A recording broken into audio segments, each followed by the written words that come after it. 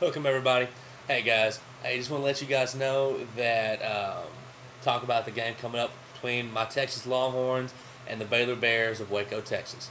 Um, you know, I went to the game earlier this year in, in Austin, and it was one of the one of the fun funner games I've been to.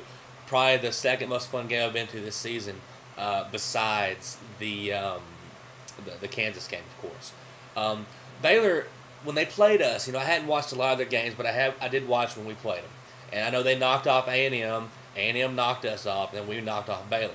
Um, kind of it's like a triangle like that. There's really there is no gimme game here in the Big Twelve. I don't care who you're playing because um, and especially this week is not for us because we just knocked off Kansas, which is great. That's awesome we did that, but we season's not over yet the the conference is not clinched yet, and we're all t- it's it's us, Kansas, and K State are all right there with two uh, two losses. We've got the tiebreaker over Kansas. We've got to take care of business Kansas State down the down the road, but right now we've got to take care of Baylor because K State knocked off Kansas, and then the next game against Missouri they lost to Missouri. So and you know we lost to Missouri the first the first the very first game of the conference. So we can't we cannot get too high on that one win great win. But once again, it's regular season. Okay, so you know I was excited, but now it's time to get back in back in the rhythm of things, take care of business. Now, when we played Baylor last time, uh, they were killing us in the first half, uh, just by they were shooting the lights out. Man, they were hitting all they were doing. They really don't have much of an inside game, and so they were shooting threes pretty much the whole time, and they were knocking everything down in the first half. What happened though? Second half, that shot wasn't falling anymore, and that's pretty much their game and it was taken away from them. You know, they, they've got some speed that guys can get inside, but they don't have a DJ Augustin. And so we were able to just kind of come back in the second half and then take control from there. Um, so, you know, but the thing is, that's at home. We're a different team when we're away from the Erwin Center. And it's not that we're not any good because we're still a great team. We knocked off UCLA over at UCLA. And it's just that when we're at home, this team is really energized by our crowd on contrast, I don't know if they step it up as much when they're on the road.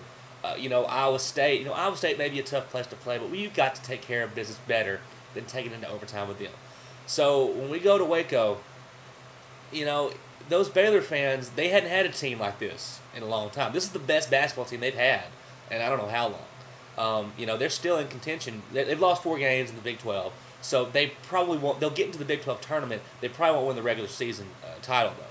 So, but they're still going to be playing hard against us. They want to beat Texas, no doubt. I mean, they still got stuff to play for. So, and I will be there. I'm, I got a, a buddy of mine, uh, Jeffrey. If you're watching this, thank you for the tickets, man. Uh, he's hooked us up. Uh, we're going to head up there Saturday. Uh, me and uh, my roommate and some other guys, and we're going to go uh, have a good time over there in the Bear Pit or whatever they call it over there, and have a good time in enemy territory. How much Waco is in enemy territory? So but it'll be fun. I'm looking forward to it. So I may not get to do a post game. Uh, I don't know if I'm over my computer or not. Um, so I may not get to do the post game till Monday, or you know maybe Sunday night or something like that. Um, because and then you know you got the Aggies Monday, which is going to be a huge game, man.